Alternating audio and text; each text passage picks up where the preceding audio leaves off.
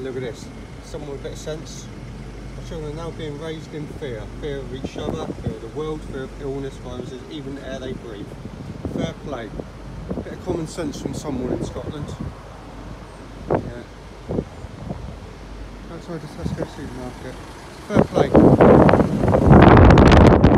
Brilliant to see.